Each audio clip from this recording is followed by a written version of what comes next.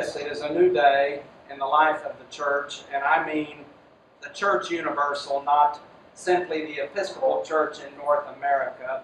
You've heard people, possibly, you've heard people say that we're in a time of reformation. Uh, Phyllis Tickle talks about how um, every 500 years we, we have this big garage sale and, and, and we have a reformation of sorts.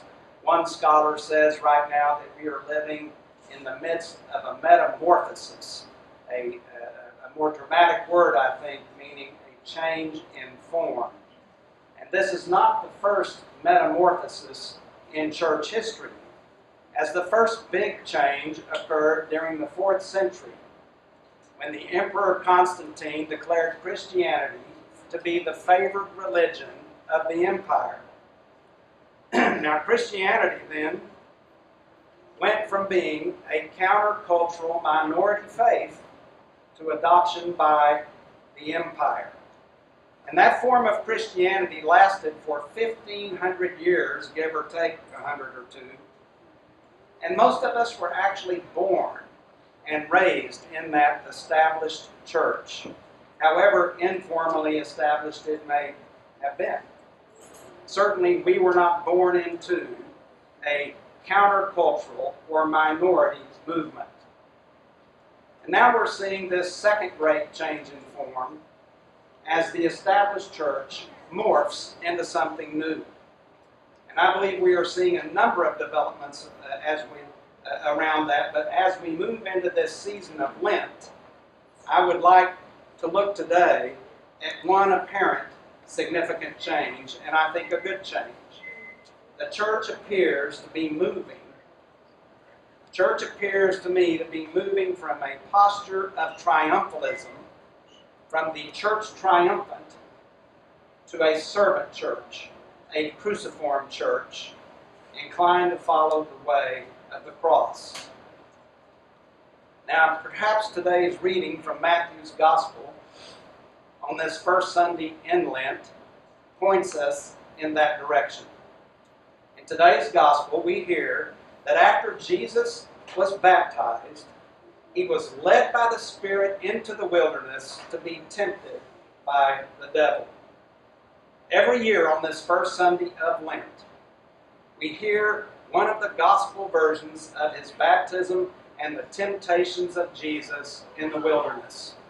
And certainly this story is an appropriate reading as we begin our 40 day season of Lent, our own journey through a seasonal wilderness with temptations of its own. now, this Lenten experience we do every year, this Lenten experience appears superficially to be an opportunity for each one of us to rise to the occasion and meet the challenge of temptation and beat it in an act of the will.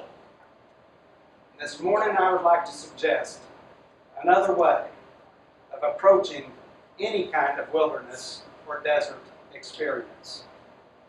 Now, to begin with, to begin with, let's look at some biblical stories which we can imagine to be desert experiences.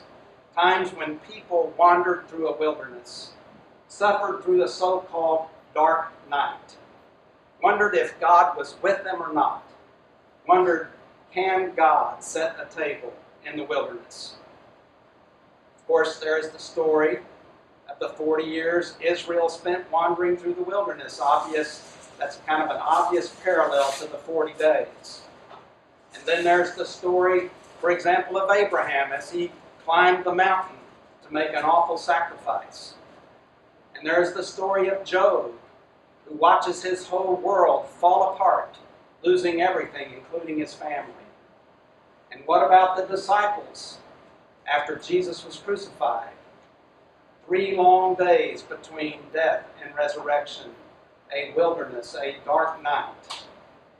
All of these experience, all of these experiences have one thing in common, one thing in common in particular that I want to look at today. In each case, those struggling through their respective desert or their dark night, each one does not know the outcome. We know the outcome because we've read the rest of the story. But those in the middle of it don't know.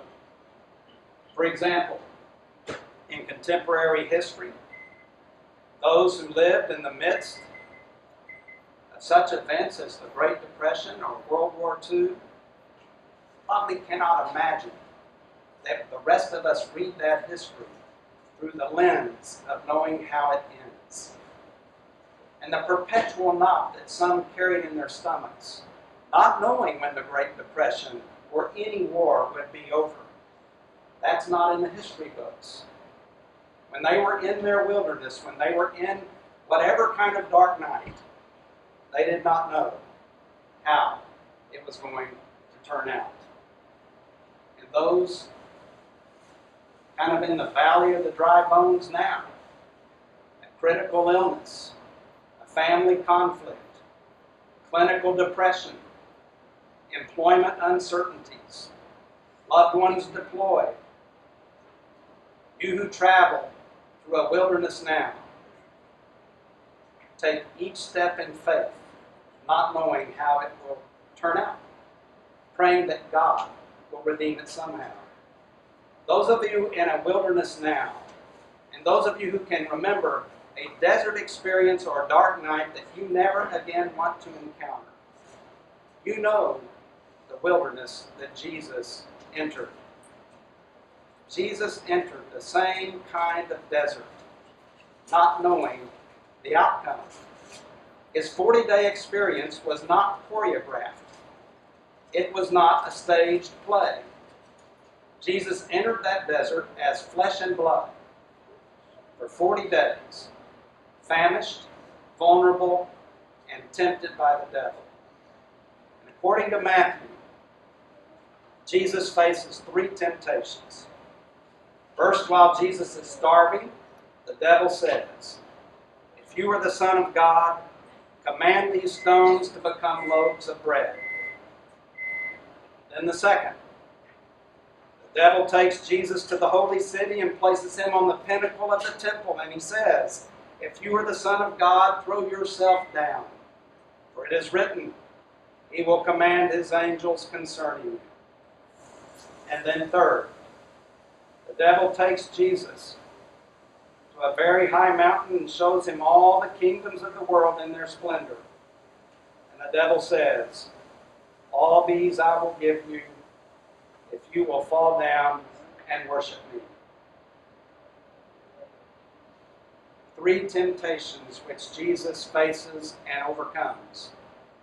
He's tempted to change the basic elements of creation, stone to bread. He is tempted to force God's hand into some sort of guarantee of survival. He is tempted to take political power over all the kingdoms of the world. But perhaps above all, and maybe this is the bottom line of these temptations, Jesus is tempted to take for himself superhuman powers, to become something other than human. And Jesus is victorious. He chooses to live in day by day dependency upon God, rather than setting himself above such dependency. He chooses a life of vulnerability. He refuses the devil's offer of power, power over the kingdoms of the world, choosing rather to be at one with God's people. And that's what's at stake in this 40 day trial. What is at risk in this wilderness? This wilderness of temptation is Jesus' solidarity with ordinary human beings. Will Jesus be one of us? Will he choose to go through the motions, only appearing to be human, watching from a distance, a demigod walking the earth, not knowing what it is to be human? Or will Jesus be one of us? That is what's at risk. And Jesus chooses us. And that means everything to those who are in the wilderness. Jesus has been there. It's no wonder that there are so many various kinds of support groups for the numerous crises we face. When we are in the desert, we want someone around who has traveled that road, someone who understands, someone who knows what others luckily cannot know.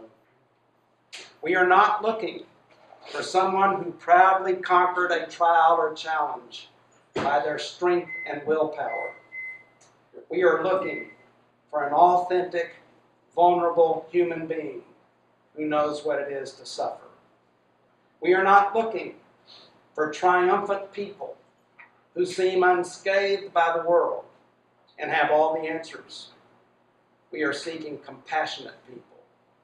The word compassion meaning suffer with or feel with. People in the wilderness today are not seeking the triumphant church of old. They seek, and we seek, a servant church, a cruciform church of authentic, vulnerable human beings. Vulnerability has more power than triumphalism. Christians gathered here this morning and people beyond these doors seek the one who loves us enough to be one of us. Jesus, the Christ, the one we are called to proclaim and embody. In the name of the Holy Trinity, one God in whom we live and move and have our being.